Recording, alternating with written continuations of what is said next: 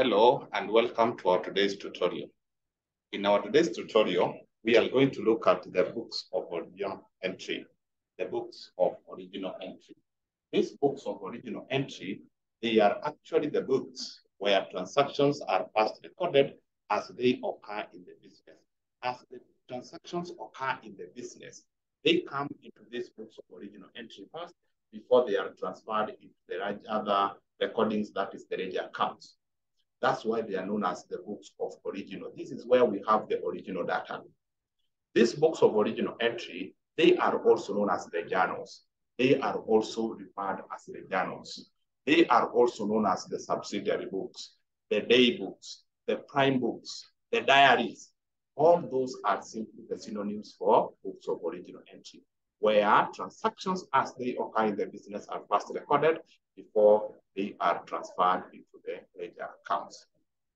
So these books of original entry are the sales journal, the purchases journal, the sales returns journal, the purchases returns journal, the cash book, and in the cash book we have got the four types of cash books, the cash book, the single column cash book, the two column cash book, and the three column cash book.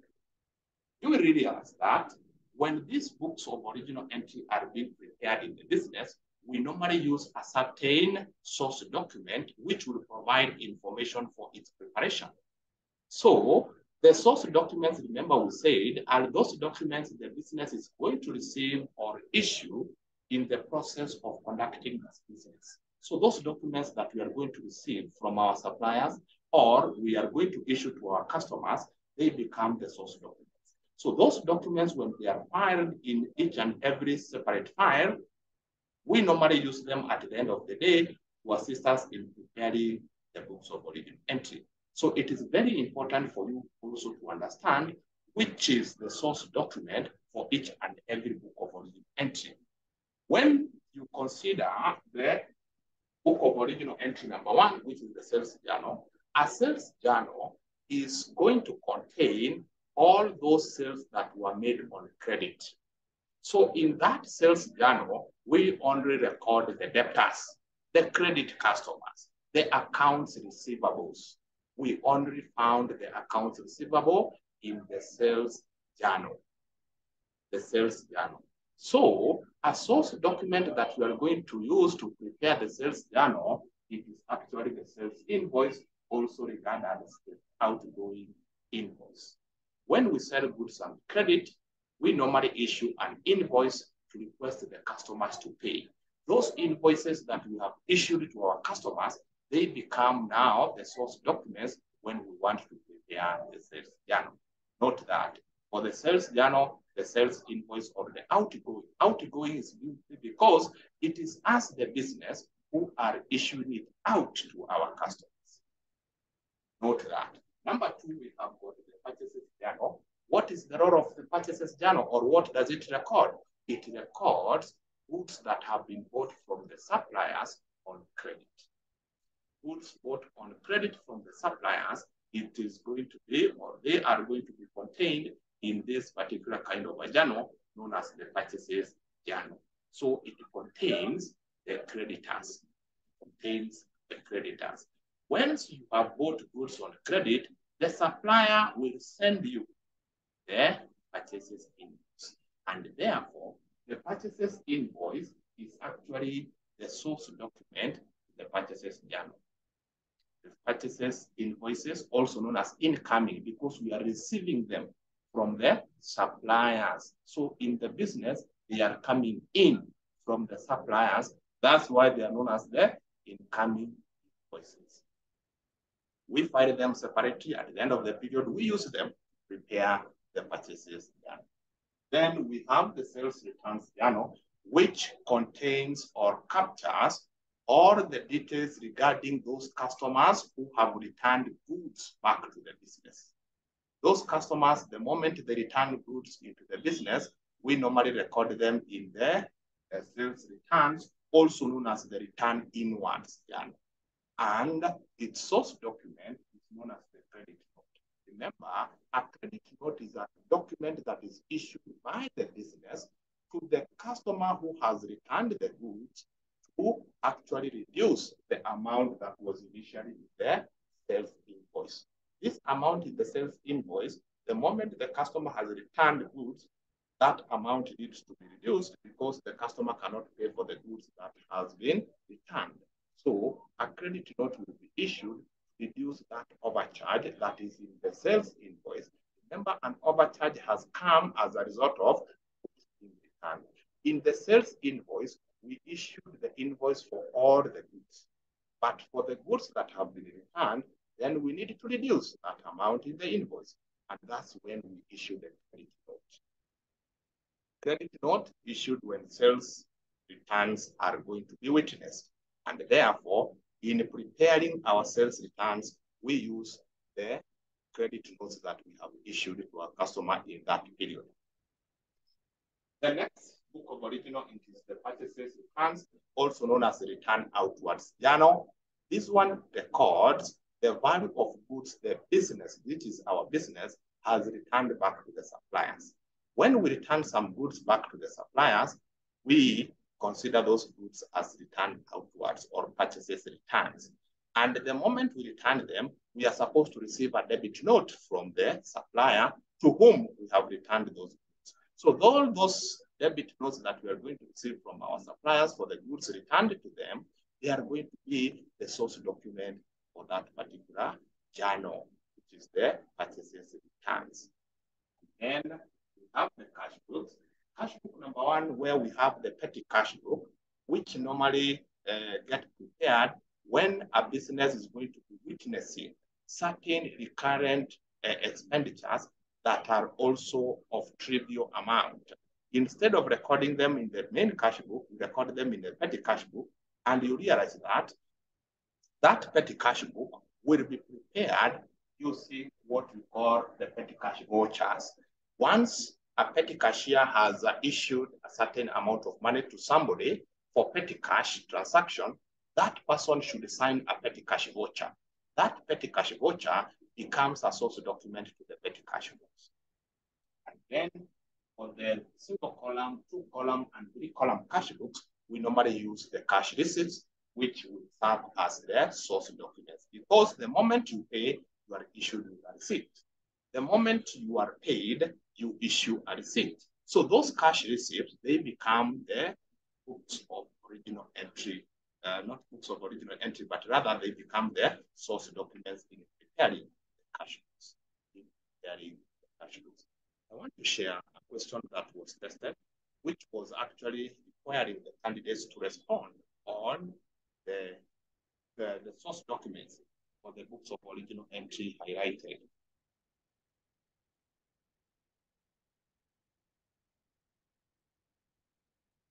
There is this question for November 2022, question 3A, question 3A, part 2, question 3A, part 2. The question is here, it reads that for each of the following books of accounts, identify the relevant source document. You are told it is the sales daybook. The sales daybook is simply the sales journal, and its source document is the sales invoice, or if you like, you can write the outgoing invoice. Then B, they tell you the cash book. When it is just the cash book, just write there the cash receipts. It becomes the source document. For return inwards, it is the same as sales returns journal. You note there and say that its source document is the credit note. Its source document is the credit note. And then for return outwards journal, its source document is going to be debit note because return outwards are purchases returns. And when purchases returns are made, the supplier should send us a debit note, and that now becomes our source document. So that is what the question was requiring. That is what the question was requiring. Once that is understood about the books of original, it is very important for you to understand what is the role for each and every book of original entry or daybook. The sales journal record only the credit the customers, the debtors. This one to record only the credit suppliers who are the creditors or accounts receivables. This one, the sales returns or return inwards to record the value of goods returned back by the customers into the business. The purchases returns or return outward to record the value of goods that have been returned by the business back to the supplier. These ones, the four of them, they deal with goods. They deal with goods only. Then uh, for the cash books, they shall be dealing with cash transactions. Then uh, it is now good for us to be able to understand how do we prepare the books of original entry. How do we prepare the books of original entry?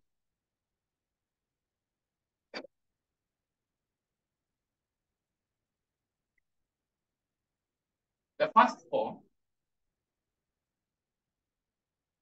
the sales journal, the purchases journal, the sales returns, and the purchases returns, if you're not given the, the invoice numbers and the credit note number, we normally use a simplified version whereby we only record the dates, the details, and the amount. The date the transaction took place, details is either the customer or the supplier involved, the amount is the value of the transaction. Those three columns can serve us very well. So I want us to refer to the second question, the second question that is in this document.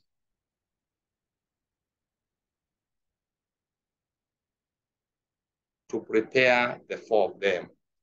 You are told the foreign transactions relate to Tausi Enterprises for the month of uh, November 2021. This is the question that was tested in November 2022, and it was in question number 5B. And it was requiring the candidates to record the above transactions in the relevant journals. Some of uh, the students might mistake this one with the relevant ledger account. No, these are journals. These are the books of original entry. The books of original entry, they have that format, the date, the details, and then the amount. And then you realize that it is going to be very easy to do it. So you can have a screenshot of that, and then we can go to the board and solve it. We can go to the board and solve it. Have a screenshot.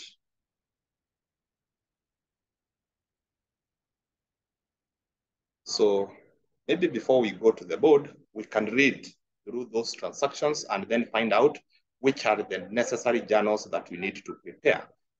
On November 2nd, it says that bought goods for 45,000 from Tembo Traders on credit. When you buy goods on, credit, on credit, it goes to the purchases journal. So we need to prepare a purchases journal. Sold goods for 12,000 to Simbuni on credit. When you sell on credit, you open the sales journal. Returned goods for 12,000 to Tembo. Remember from Tembo we had bought. Now we are returning.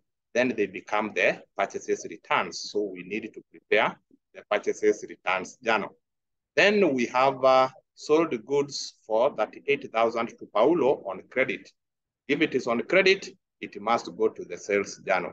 Bought goods for 66,000 on credit from Twiga. Those are goods bought that goes to the purchases journal. Paulo returned. Remember, we had uh, we had sold goods to Paulo. When Paulo returns those goods, then they become sales returns. So we record them in the sales returns. Then on 26, uh, returned goods worth 2,400 to Twiga. Twiga, we had purchased from them. Twiga, we had purchased from them. So those ones will be recorded as purchases returns because we are returning them. And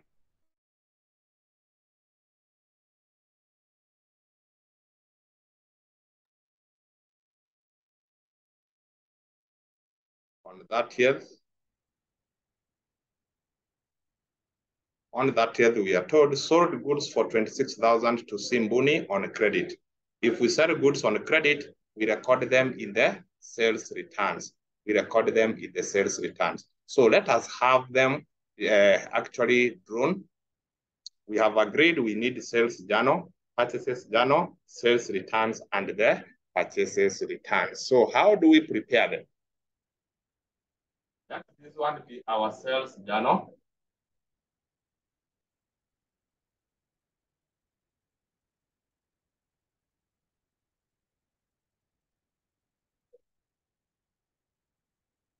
Then we have the purchases done up.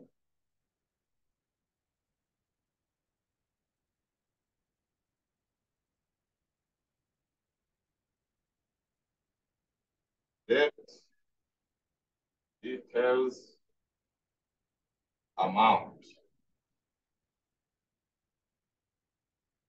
We have here the sales returns.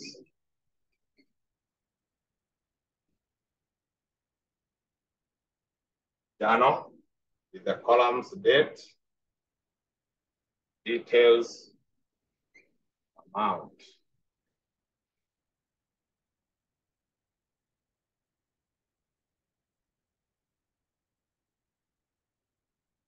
Lastly, it is the purchases returns.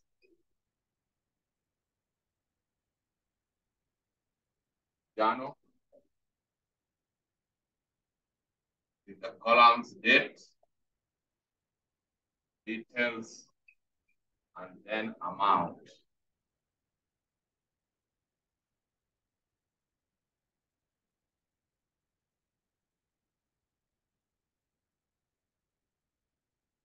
Like that. We can go now to the question and record those transactions in the relevant journals. Remember, journal is not ledger. These are the journals. When you are told you prepare journals, you prepare this kind of statements. Don't prepare the ledger accounts. So on November 2nd, bought goods for 45,000 from Tembo traders on credit. From Tembo traders on credit.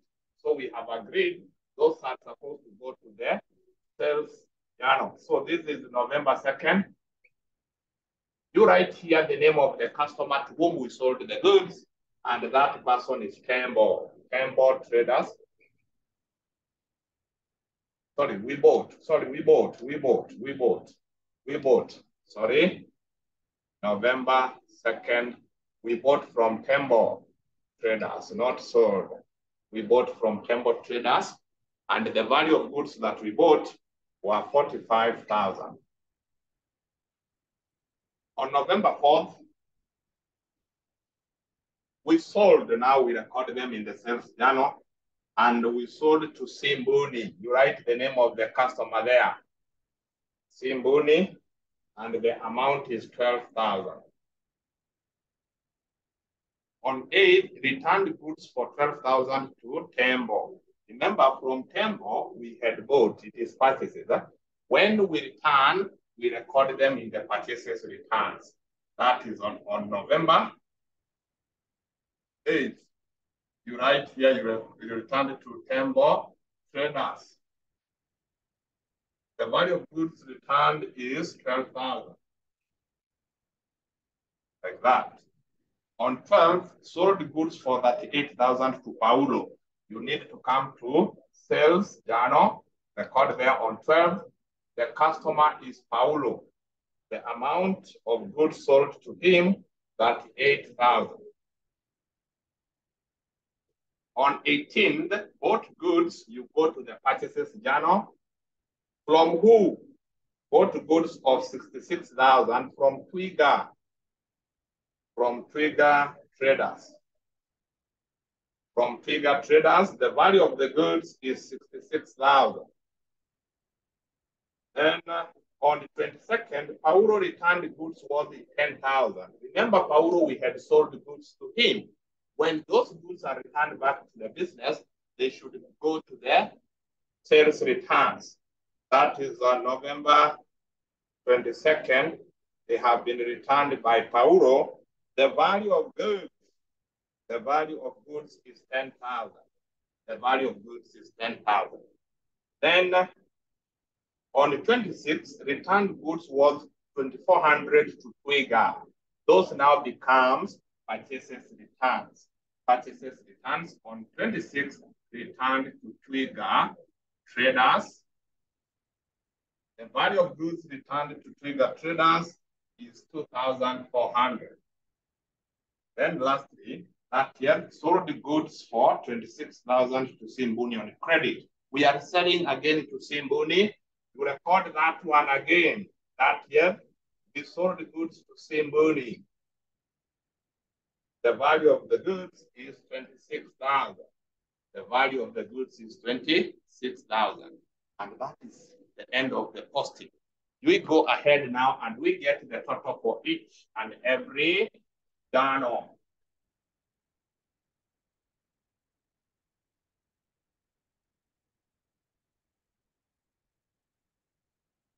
Like that. So you realize that for the purchases returns journal, we have got a total of 14,400. This is the total purchases returns. That is the total purchases returns. Here we have the total credit sales.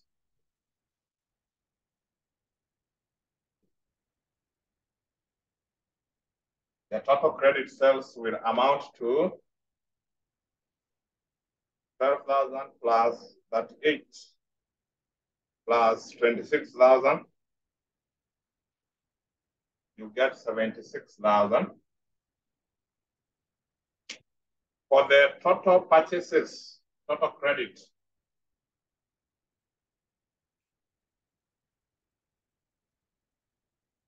purchases will be 45,000 plus 66,000, giving us 111,000.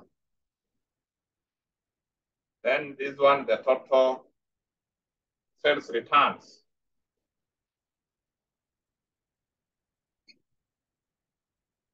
The total sales returns is 10,000. The total sales returns is 10,000. In some cases, you can be told to, to also prepare the ledger accounts. These totals, these totals for each and every journal, they are supposed to go to the general ledger. When we were talking about ledger accounts, I told you that ledger accounts are classified into three. We have got the purchases ledger that records the credit customer, the credit suppliers rather. The credit suppliers are recorded in the purchases ledger. A ledger is a book, and in that book, we have got ledger accounts. That ledger account or those ledger accounts that are going to be contained in the purchases ledger are simply ledger accounts related to the credit suppliers, the creditors or the accounts payable. Then in the sales ledger, which is another ledger, it contains the names or the accounts of the debtors or accounts receivables. So a ledger is a book.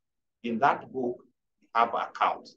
The accounts that we are going to find in the sales ledger, it is the accounts for the debtors, the accounts receivables. Purchases contains ledger for the creditors, the suppliers or accounts payables. And then we have got the general ledger. The general ledger now contains the ledger accounts for all the other category of accounts, including the purchases account, the sales account, and the sales returns and the purchases returns. The ledger accounts will be the general ledger. But each and every customer, each and every customer here will be in the sales ledger. But the total sales account, it is in the general ledger. So the same case applies to the purchases. These suppliers, the accounts are in the purchases ledger. But now the purchases account, which contains the sum of all of them, is normally is the, uh, in the general ledger. So when you are told to prepare the ledger accounts, you need to do a very simple T accounts. For this one, you can say these two, these two customers, they are going to be found in the sales ledger. They are going to be found in the sales ledger, whereby we can have the account for Paulo. And then we also have the account for Simbuni.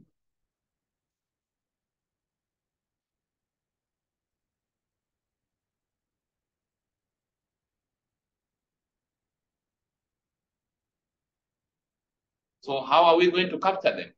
How are we going to capture them? Remember, these are debtors. So we normally write here, the first one occurred on 12th. You write here, it occurred as a result of sales. For Paulo, 38,000. For Simbuni, it occurred on 30th. You come here, sorry, this first one on 4th. Right there, sales on the debit side, 12,000. The other one, Simbuni, occurred on 30th. Record again here, sales of 26,000. Sales of 26,000. Sorry, there is a reflection here, but this is sales of 12,000 and sales of 26,000 for Simbuni. For Simbuni. Reflection there. Let me put it here. Simbuni, we have got credit side and the debit side. The first sales occurred to him on 4th. Right here on 4th, we had sales of 12,000. The other one is on that year, sales of 26,000. Those are the two customers. You debit them because they are debtors. And this one is in the sales ledger.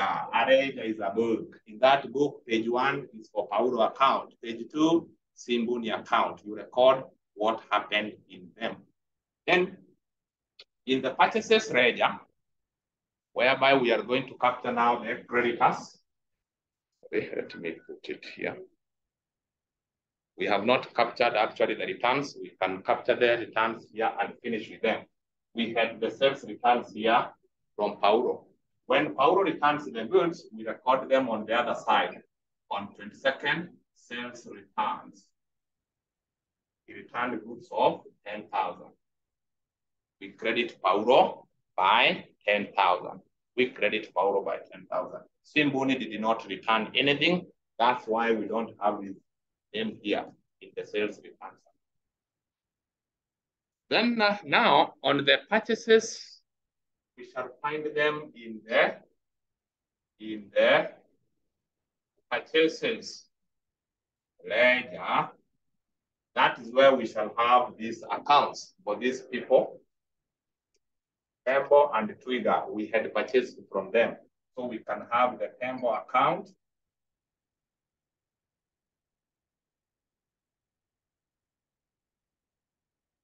which we need to credit. You just come here and say, on second, we did purchases to him or from him worth 45,000. Then we also need to have Twiga.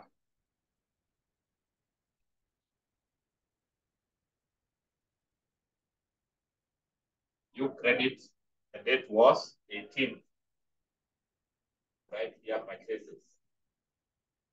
Of how much? 6,000. Just that. If there is any return that were made to them, which we have here, we had on 8, we returned goods to Tembo, 12,000. 26, we returned goods to Twiga, 2,400. We capture them here now on the debit side. So you come here and say, Tembo on 8, we have got purchases returns.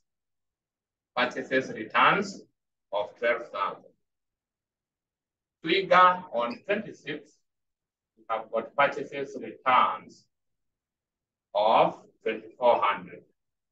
Just that, and you are finished with in the purchases ledger. The last thing you will do now is to come here and say in the general ledger now,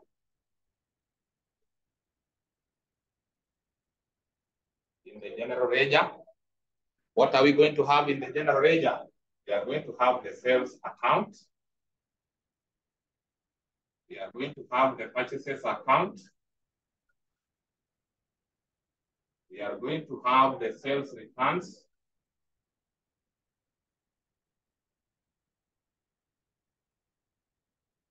And then we are also going to have the purchases returns. We are going to have the purchases returns. Let me have it here.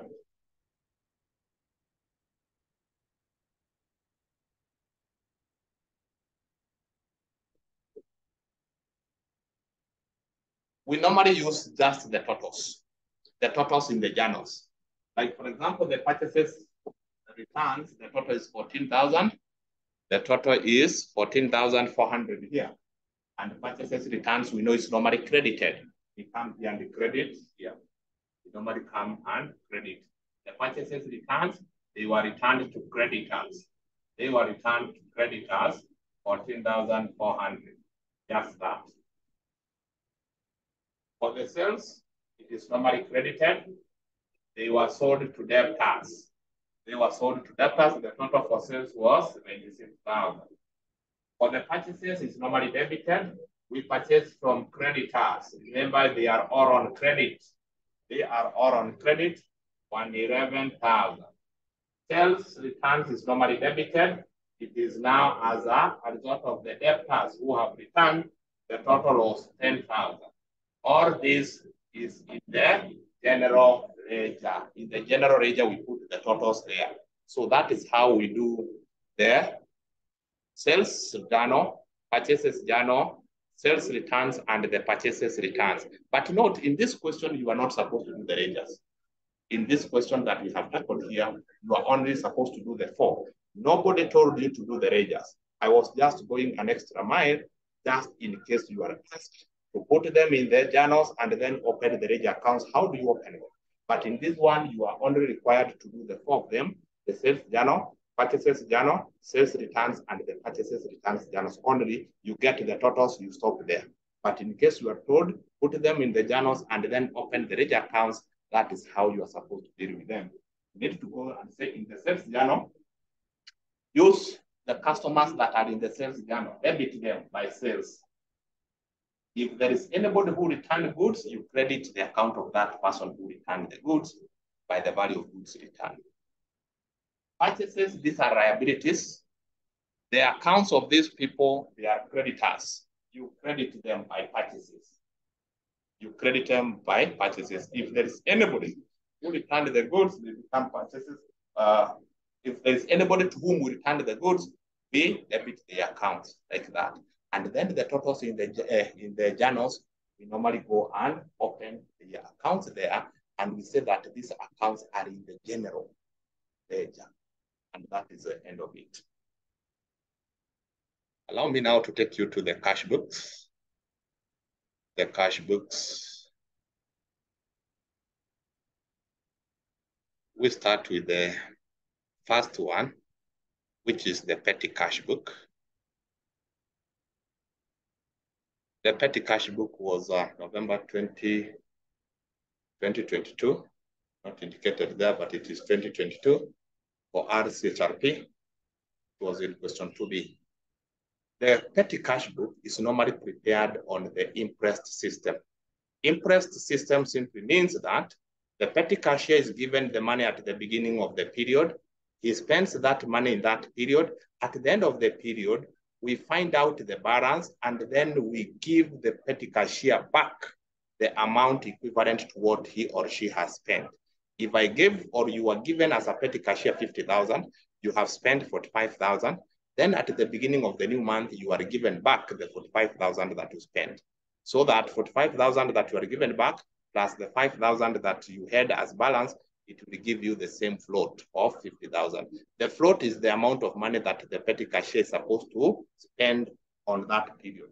The petty cashier, the amount given to spend on is known as the float. Then at the end of each and every period, you are reimbursed. Reimbursement simply means you are given back the amount equivalent to what you spent. And that whole story is what we call the imprest system. So each and every month as a petty cashier, you receive what you spend you receive what you spend. So that now together in the balance, you can go back to the float amount. So in this case, this question was tested and uh, the students were required to do a petty cash book to record the above transactions. What was expecting or was expected from them is this.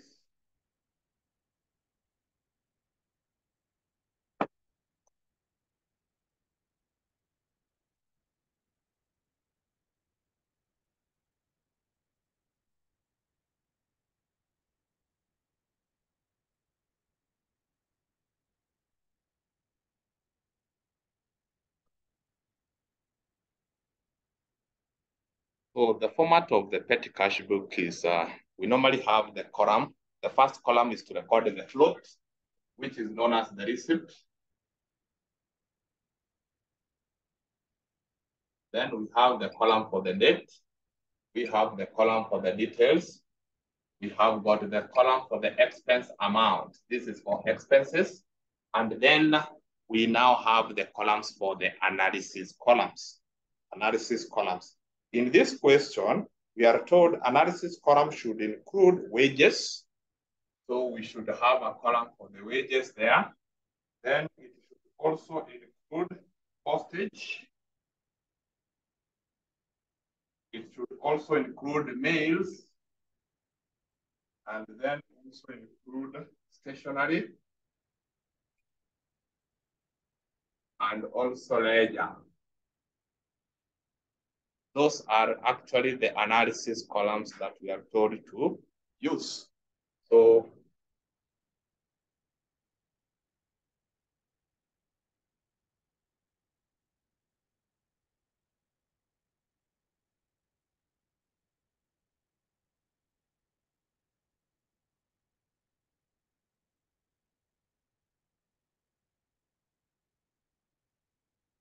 like that. So note on the receipt column, we only record the fruit, either the balance and the money reimbursed back. We don't record expense amount paid there in the receipt. No, only the fruit amount. Then here, the amount that we paid should also be recorded here and in one of these analysis columns. So if, for example, we have paid for stationery 10,000, we record it in the amount and then to the corresponding analysis column. So let us see what the question says. Heshima operates a sole proprietorship business in the county of Kazon, Kazamoyo. She keeps a petty cash book on the imprest system with a float of 80,000. The following are the petty cash transactions for the month of August 2022.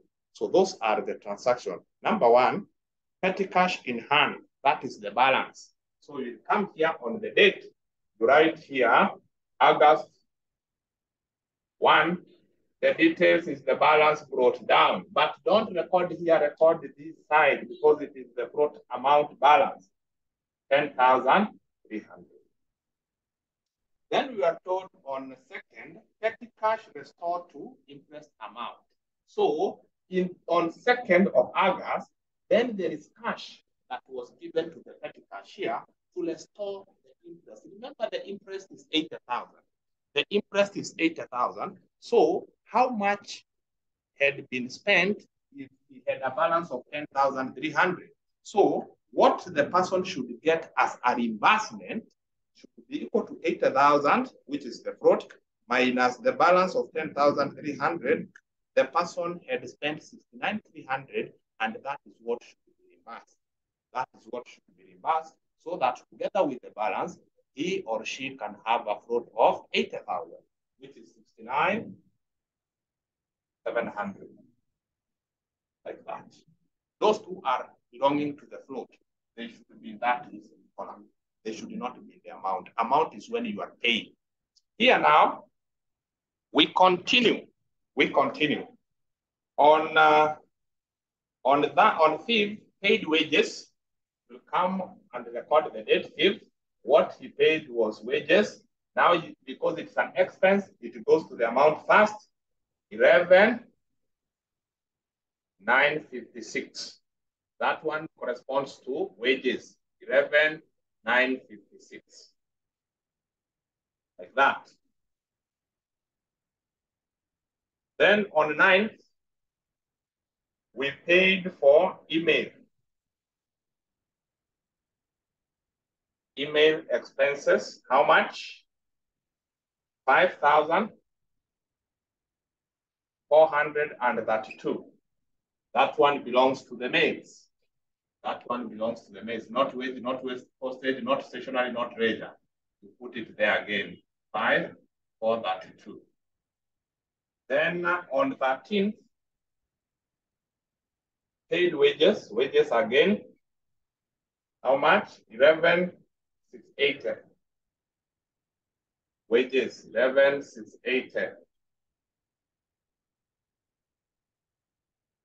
On 15th, we bought foolscaps. Four scalps of uh, 6180.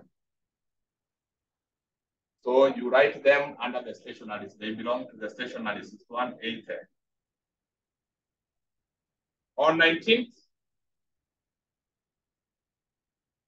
paid wages, wages paid again, 11,880. They belong here. On 21st, postage stamps.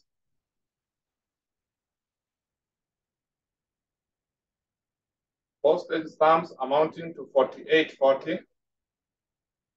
Those ones, they belong to the postage, 4840. On 24th, paid wages amount is 11,992. They belong here, wages column. On the 26th, we paid back uh, Dabu. Dabu is a creditor, 4704. That is where we record ledger. When you pay a creditor, you record it under ledger. Ledger is for the creditors. When you pay a creditor, put it under ledger. Then on that year, we bought envelopes. Envelopes amounting to 3880. They belong to the stationaries. That 880. That 880. Then on uh, 31st, petty cash reimbursement. Eh? And that one we need to compute. So what you do once you have done that, all these analysis columns, you do a total of each. Do a total of each column. Like uh, including this. Let us do for the wages.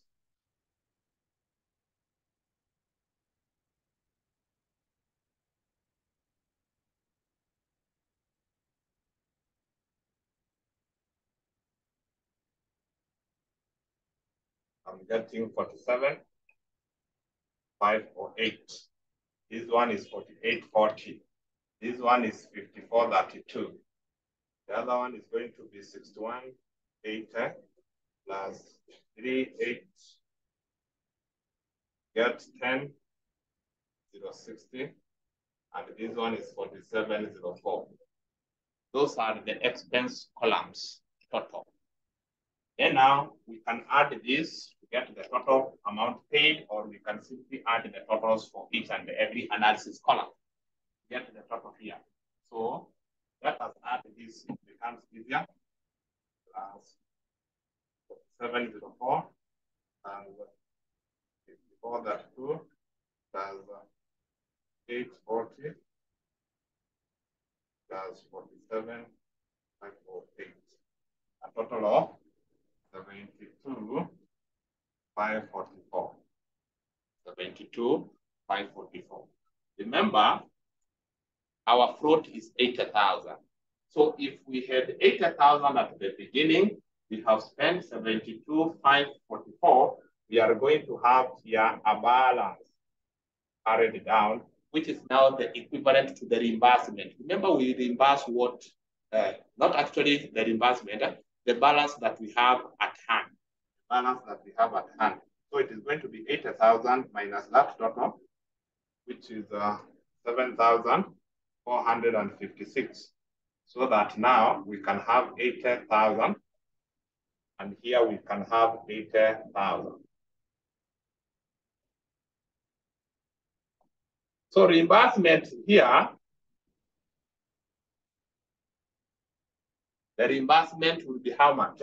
It is going to be the amount spent. We reimburse what we have spent, uh, 72, 544. That is the amount that is going to be reimbursed. What you have spent, what you have spent is what you reimburse. And that is how simple you prepare a petty cash book. This is our petty cash book.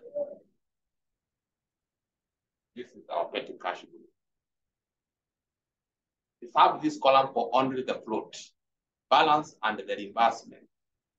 This one, the expenses paid must first be recorded here before it is recorded in one of the analysis columns. Then the total or the analysis and close with the double lines. Get the total either by adding this or by adding that. Then you subtract from the total float, you will get the balance here. What you have spent, subtract from the amount you had as float. And that becomes a very simple way of preparing a petty cash book. Next, I want us to have a very brief discussion on the two-column cash book. Two-column cash book.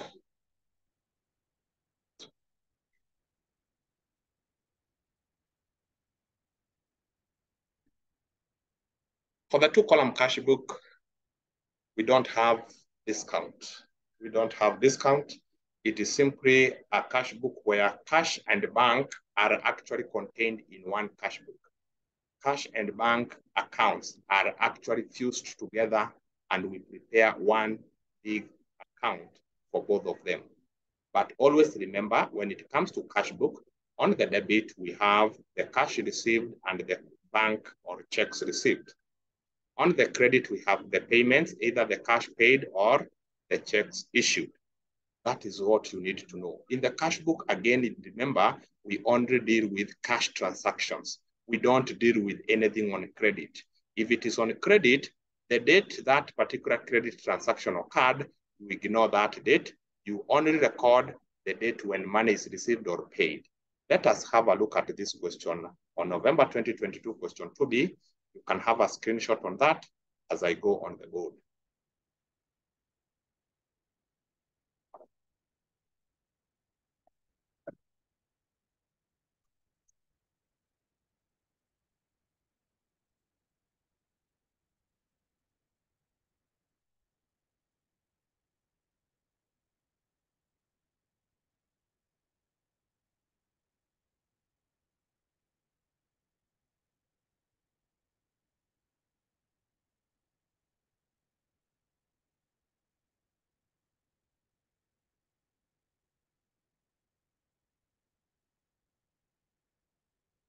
So two column cash book.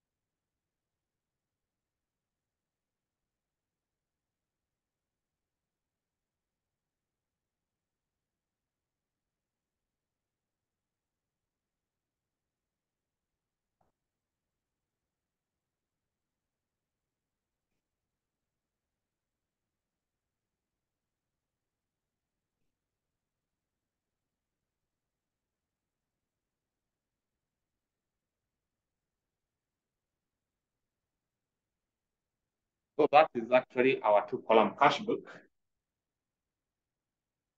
On the DR side, we have the cash and the bank columns to record any cash or checks received. On the credit side or the payment side, we have the cash and bank accounts to record any checks issued or any cash paid. Very simple, very simple. So always, either the business is starting shall debit the capital there. If the business is ongoing, we need to capture the balances, the opening balances, but not for cash, it will always be on the debit. It will always be on the debit. But for the bank, it can be on the debit, but sometimes we can have a bank overdraft, which goes to the credit as opening balance. So note that. In this question, maybe somebody can ask, how do we know that it is a two-column cash book and not a three-column cash book? If you look at the cash book, there's nowhere we are told about the discount. If there is no discount, either allowed or received, then just know that you are doing a two-column cash book. Just know we are doing a two-column cash book. Like in this case, nowhere, in those transactions, there's nowhere where discount is actually mentioned. So we do actually a two-column cash book. And then you also note that in this question, the balance brought down the cash and bank. In the bank, they were silent. They did not tell us credit. So we consider it as a debit. when it is a credit balance, they will specifically tell you the bank, either they put into bracket CR, meaning that it is a credit balance, or they write their bank and then they tell you it's an overdraft, or they call it bank overdraft. That is when you take it on the credit. But when the figure is given, like in this case, 525,000, and they don't tell you whether it's a credit balance, you consider it as a debit balance. So you come here and record, this is the month of March, March 1, their balance brought down. For cash, 130,000. For bank, 525,000. Those are the opening balances on the debit. Then transactions for the month, on that, both goods, cash. Here, remember in the cash book, we are simply talking about money in and money out. Nothing else. So when you buy goods, you pay. So that is a payment. It is money out. Money out. You come here and say, March 3. You bought goods. When you buy goods, we normally call them purchases. Don't forget that. And it was cash 25,000. It was in cash form 25,000. It is a payment in the cash. Sold goods. When you sold, you sell goods, money in. It is a receipt. You come here and record on seven. That is what we call sales. Put it as 65,000 in cash. It is a cash receipt. Paid electricity, that is money out. That is money out is a payment. On eight, what did we pay for? Electricity. How much? 36,800 by check. So it is a bank payment. 36,800 by check. Payment through bank. On the 13th, sold goods and received payment by check. When you sell and you receive check, that means that bank will be receiving that money. That is on 13th. It is sales again, but this time received in form of check, seven or 8,000. Bank, bank receipt paid rent by check. It is a payment through bank. Come here, record the date, which is 15th. What you paid, it is rent. Payment through the bank, 120,000. It's a, a check payment. It reduces the bank balance. Received a check for dividends. Received, that is money in. On 16, dividends. How much? 78,000 check is in the bank. 24, received interest by cash. It is a receipt, money in. You put it on the receipt side, interest in the form of cash, 26,000. Last three, paid insurance on 28, that is money out to pay insurance how much is this? It is 16,000 by check. 316,000 by check. It is a payment through the bank. Once you have done that, it is very simple. And I repeat here in the cash book, money in and money out.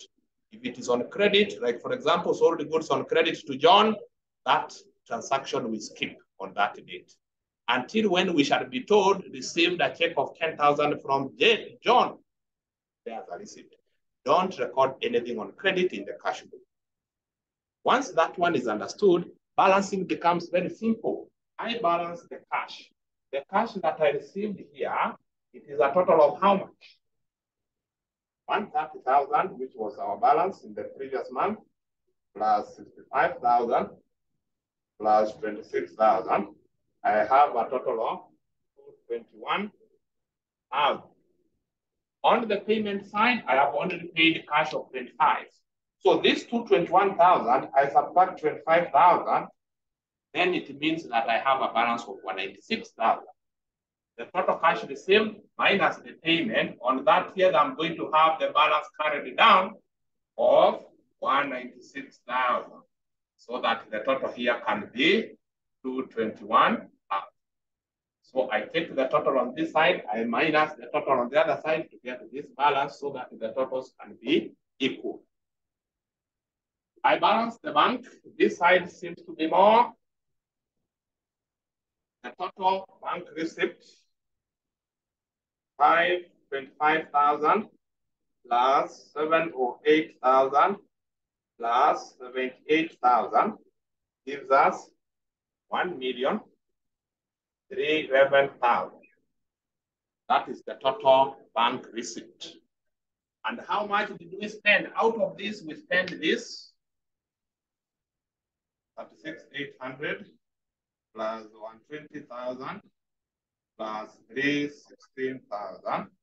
We get 472,800. That is what we spent, but we had this. This is what was in our bank. We spent a total of 472,800. So what is the balance?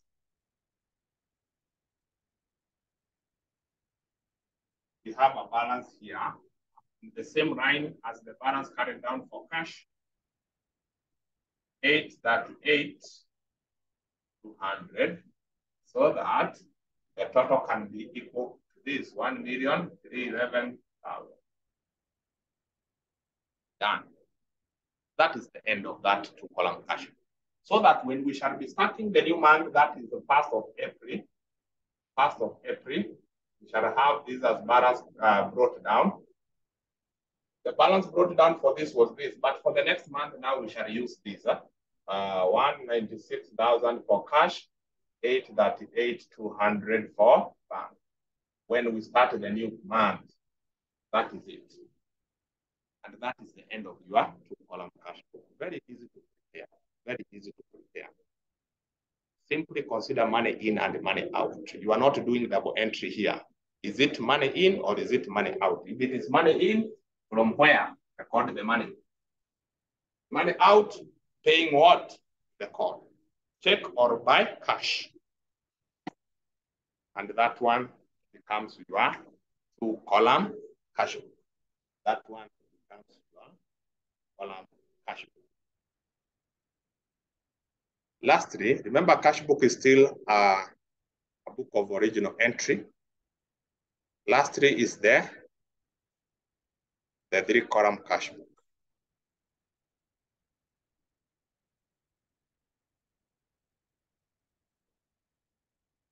I want us to demonstrate it using December 2017, question 6A. Where you are told record the events in the three column cash book and balance of the account as at 31st October 2017. It is still the same thing as the two column cash book. Only that we are going to include the cash discounts. Cash discounts are cash uh, discount allowed or the discount received. Discount allowed and the discount received. Take a screenshot of that as I clean the board. Take a screenshot of that.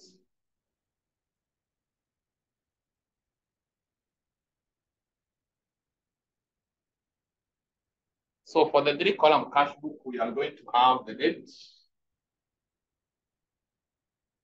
the details. Here we have the discount allowed, then cash, then, then bank. Here we shall have again the date, the details, now we are going to find the discount received, cash, and bank.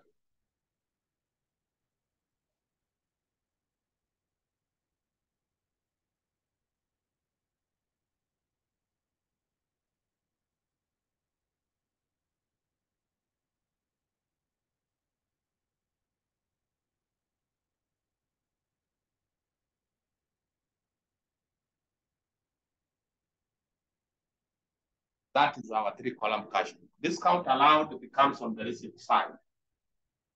As you are receiving money, some of them you have allowed them discount. Some of the customers from whom you are getting the money, you have allowed them discount. So you will be receiving less. So it is on the receipt side because discount allowed, it is normally allowed to your customers. So as you receive money to them from them, sorry, you deduct the discount. So it is allowed on the receipt. Discount received, you receive discount when you pay. That is why it is on the payment side. That's why it is on the payment side. As we pay our suppliers, some of them will actually give us a discount. We shall be receiving discount from some of them. So we deduct the discount we have received, we pay the rest of the amount. So the question says that the following transactions took place at Bosira Shoes dealers during the month of October 2017. Opening balances. You see now in that case, they have told you the cash account, it is that 2400 debit, but for the bank account, it is 19,800 on the credit. So bank will go to that side, cash will come here. You record the date, which is uh, October. The balance brought down. For cash, it is on the debit. We put it on the receipt, 32,400. This is naturally the DR. This side will be the CR for payment. So for the bank, the same date, October 1, we have the balance brought down. The bank, it is an overdraft. That's why it is on this side, 19,800. Must be very careful when you are recording the balance for the bank. If it is clearly stated, like in this one, that it is credit, put it in the credit column. Then transactions during the month, borrowed 72 72,200 cash from Wafula. When you borrow to cash, it is money in. You are receiving that money. You are receiving that money. I repeat again, cash book, it is simply money in or money out. Don't focus on what happened to the other person or the other account. We are not doing double entry here. Either cash in or cash out. Check in or check out.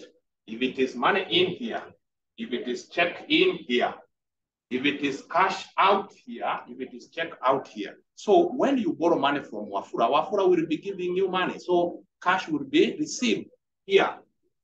Second, right here, money from Wafula. Wafula, cash 72, 200. That's that. On fourth, eh, boat stock. When you buy, you pay. That is money out on credit from Asha. That is on credit. When a transaction has occurred on credit, skip that. We shall consider it when payment will be made. Then on the fifth, deposited that one 650 cash in the bank. We call that one a contra entry. Money is not moving out, money is not moving in. It is only changing from our bank account to our cash account, or sometimes from cash account to bank account that one will affect the receipt and the payment at the same time. So in this case, uh, deposited that one 650 cash in the bank, bank will be receiving money. Bank will be receiving that one 650 from cash. You put it into bracket C. That is on which date? That is on uh, on 5th. On the same date, 5th, cash will be reducing it's like a payment in cash that once it's paid and it is going to the bank. It's a contra entry. It is received in the bank, but it is from cash. Cash is paying out, going to the bank. That is how we capture the contra entry. It must appear in both receipt and payment. But you consider if it is a receipt, which account is receiving? Here it is a deposit in the bank we record the amount in the bank here. On the other side, it's a payment, which account is paying, cash is paying, money is moving out of cash, put it as a payment in cash. On 7th, return stock worth 40, 4350 to Asha. Does that transaction involve money in or money out? No. Nobody is refunding anybody. So there's no money out or money in. Do You know that. On eighth, paid telephone expenses 8300 using check. So it is a payment on eighth.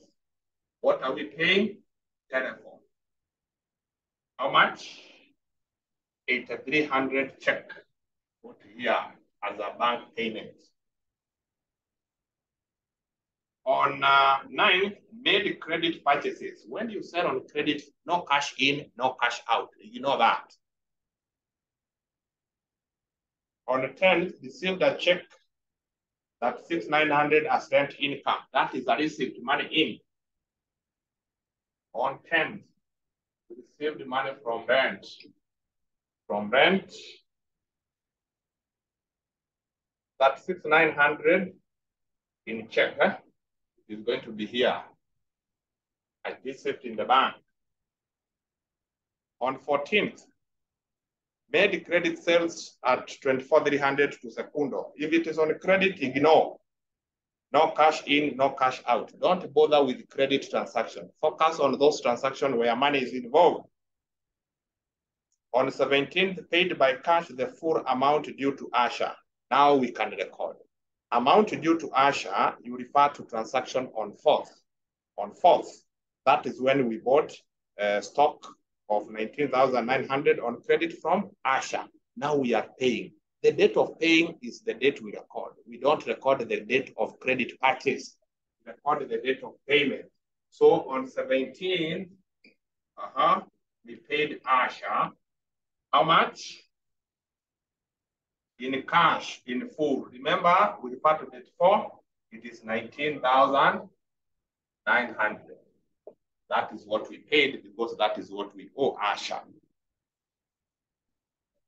On 27th, received in cash, in the cash form, the amount due from Ore Secundo less 2% discount. Ore Secundo, remember we made that sale on 14th, 24,300. So we shall have, let us have it here, a calculation that is 2% times 24, 300. 2% times 24, 300.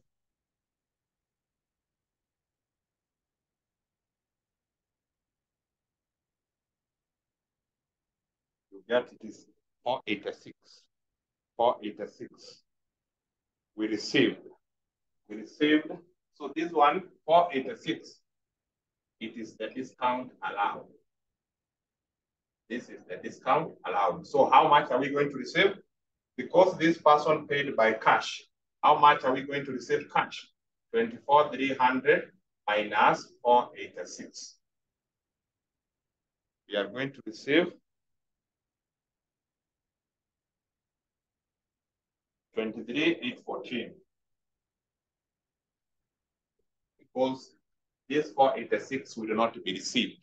So we shall come here and record. The date is on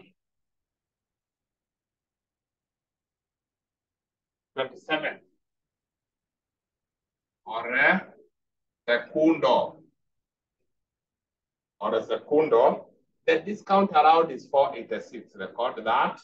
And remember, it was received in cash form. So under the cash column, record 23,814.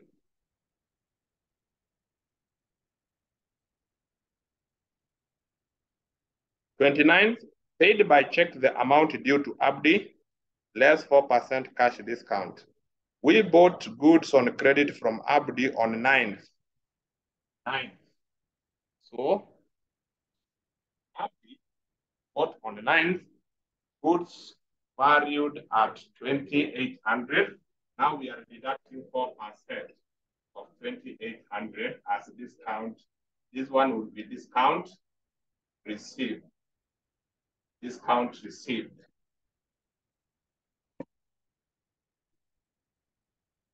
So it is going to be 4% times, which is 832. How much are we going to pay? 2800 minus 832.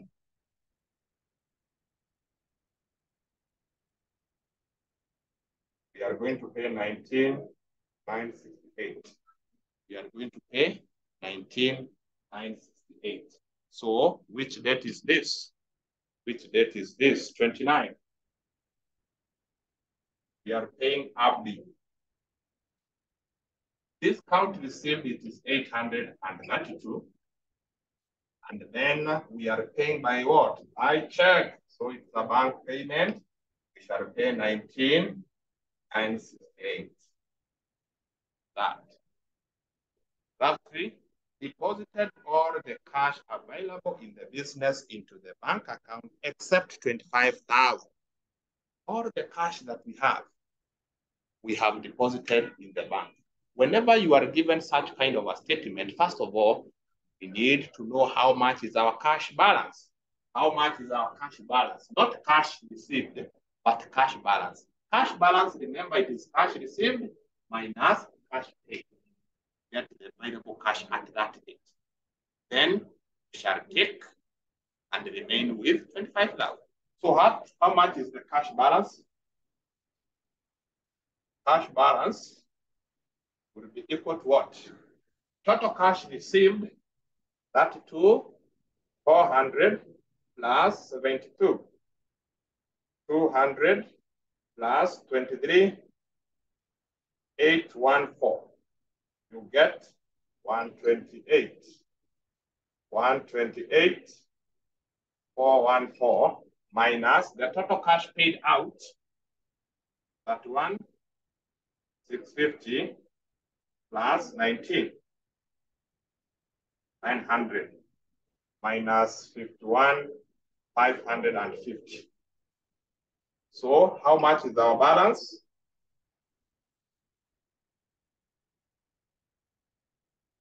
Seventy-six, eight, sixty-four.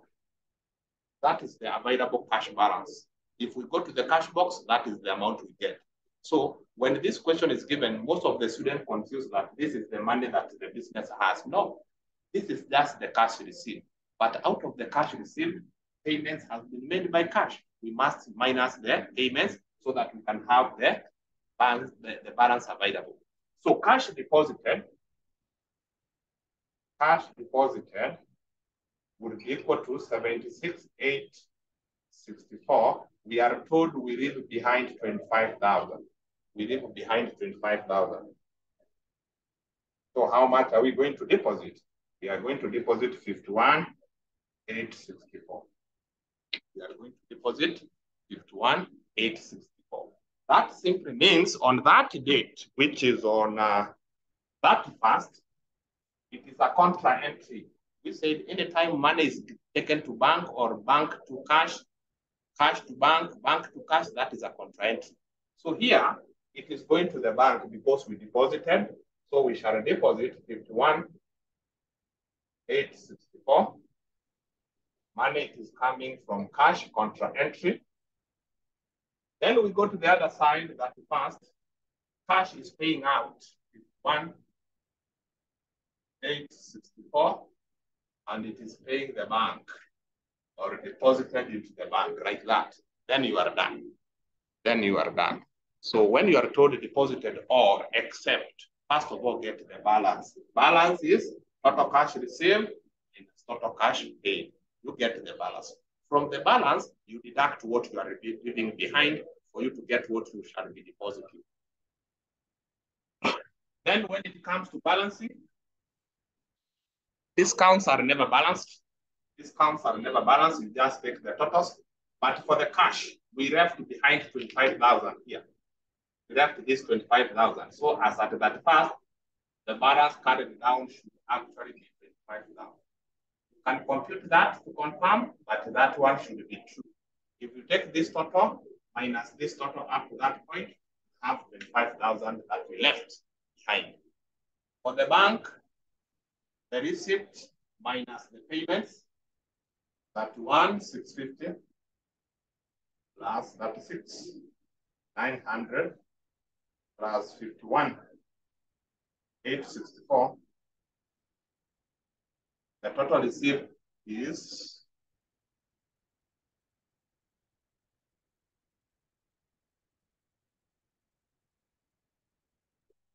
the total bank received it is uh, 120 414.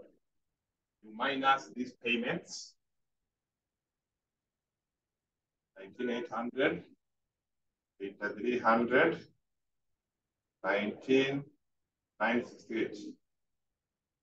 You get the balance of 72, 346. You put it in the same line as balance carried down so that it can be 120, 414. 120, 414. So for cash, we got a total here. The total receipt here was 128, 414. Here you add, you find it is going to be 128, 414. For the discounts, we said you don't balance. 832 is the discount received. Discount allowed was 486. Those ones are never balanced because they are two different accounts. They are two different accounts. And that is going to be your three column cash book Your three column cash book. So three column cash book, it involves some form of discount. If the question has no discount, just prepare two column cash. Just prepare the two. I hope you have enjoyed. Anytime you have any question or clarification, get me on 0728 225 688, and then I will be able to give over or help. What is my name? reach me on that, we can help each other. For today, thank you and bye-bye.